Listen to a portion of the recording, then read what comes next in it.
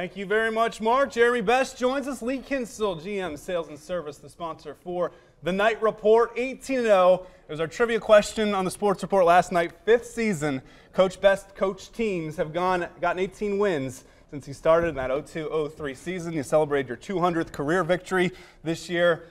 Number one seed, uh, still special, even with everything that's gone together. Still kind of a goal accomplished for you guys. Sure. You know, as, as you head into the season, you think about when tournament time comes around, you want to put yourself in the best situation, and our kids earned that reward. And, and yeah, we're very pleased with the situation that we have. And um, you know, we need to finish out the year on a good note. We still have some work to do within yeah. our own conference, a lot of work to do.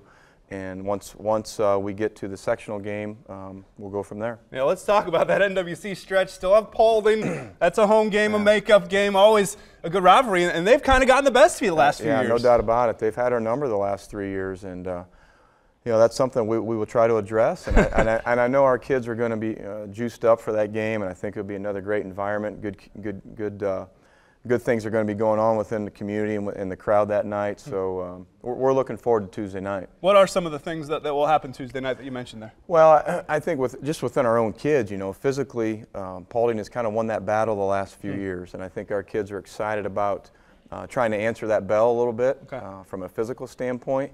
And you know, it, it's, it's one step towards what we want to do within the conference. Uh, it's another step uh, along our goal of winning the Northwest Conference. And you know, we have to take care of Tuesday night and then head into Friday at Bluffton and then um, finish up the following Friday uh, with Grove. This team is so experienced. Uh, yeah. How nice is that to be around a bunch of guys that know you, but also know the game and handle themselves so well? Well, and, and that's a great, great question. And, and, these kids are they're good. They're good kids. They're close with each other. Um, you know, they've been friends for such a long time, and I've known those kids since they've been first, second grade. Mm. They're they're a lot of fun to be around.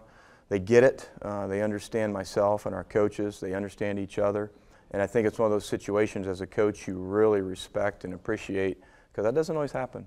A little concerned about Damian Helm for the McDonald's breakfast he was telling me he was eating last week. And he said, I'm a human garbage disposal, Andy. That kid can put some food down and then get out there and, and score 15. Uh, he enjoys to eat. You know? nothing, look at you. There's nothing you know? wrong with that. Yeah, you're right. That, you know? uh, Damo's a good kid, and, and, he's just one of several that we have. So. All right, Jeremy Best, the number one seed, number one team in the state in Division Four. Thanks for stopping by. Thank Brought you. to you by Lee Kinsel, GM Sales and Service.